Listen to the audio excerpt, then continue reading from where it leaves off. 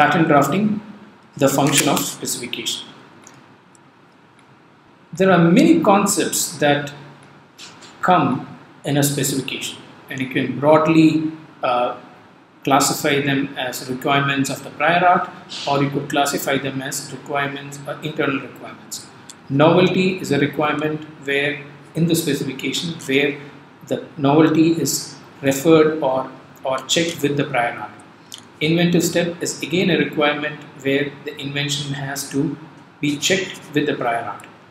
Utility, use of the invention again is something which can be demonstrated in the future, but it again is something which comes, which, which has to be which has to be understood in relation to the prior art. Priority, again, uh, choosing priority depends on what has gone before. If there are disclosures made before a particular, uh, before you file your first priority document, that affects your priority. So the priority is also a concept that is uh, linked to the prior art.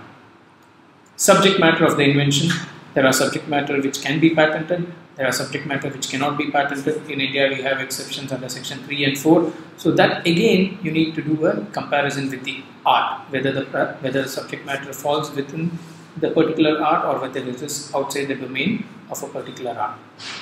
Now, these are requirements in a specification. So when you draft your specification, you should ideally cover these concepts. These are concepts which have a relation to the prior art. I'll put it that way. They are not directly dependent, they have a relation to the prior art. Apart from these concepts, you have certain internal requirements. Enabling disclosure is an internal requirement. The disclosure that you make should enable a person skilled in the art to come up with the invention, to work the invention. Best method, you should disclose the best method, again an internal requirement which the specification has to satisfy. The claims have to be definite, it has to be clear and succinct it's an internal requirement of the claim. The claims have to be fairly based on the matter disclosed, again an internal requirement for the specification.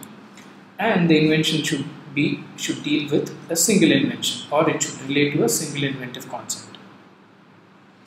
Now priority, when we talk about priority, we talk about the term of the patent.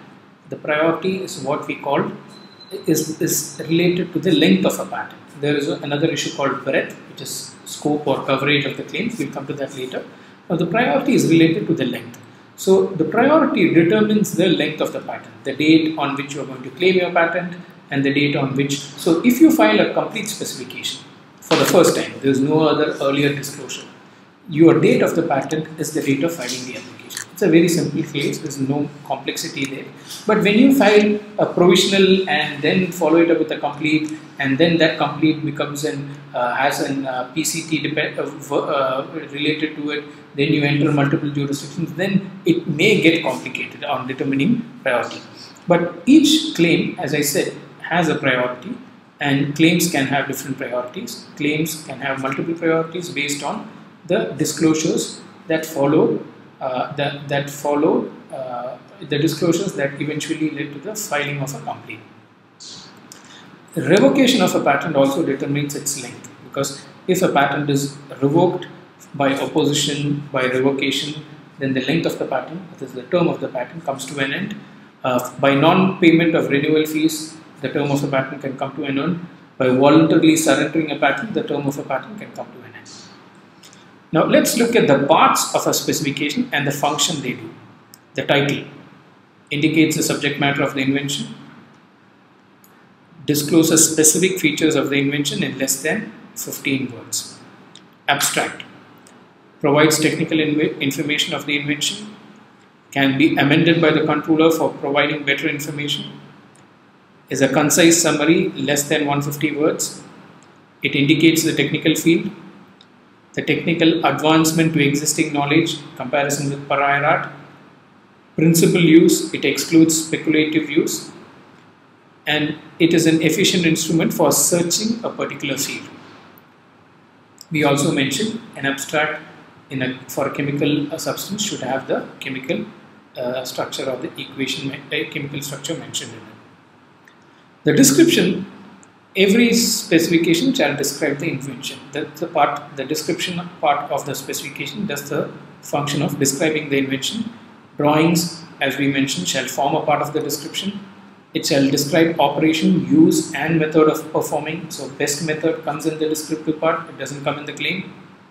Disclose the best method known to the applicant.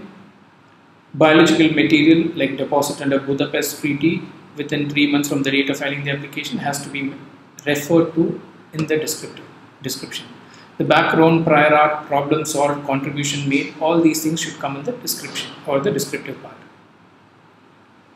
Drawings shall accompany the specification, they shall be in specific separate sheets. Uh, provisionals can have drawings, complete specification can refer to the drawings filed in the provisional, so you can refer to the drawings in the provisional, you can go back. Uh, dimensions shall not be marked in the drawings, references should be by an arrow mark, should be outside the drawing. The only point where it is referred to is in flow diagrams. Descriptive matter can be mentioned in the diagrams if you have flow diagrams. Models and samples, controller may insist on models and samples. Uh, inventions related to perpetual motion, controller may insist on a working model. They shall not be a part of the specification. Claims, the specification shall end with the claims. They define the scope of the invention. Uh, the claims define what for what the protection is claimed and that is what get enforced in an infringement suit there is a limit of 30 pages for your description and 10 claims. So no extra fee for this and the first schedule entry to form 2 covers it. Uh, each claim in addition to 10 is charged.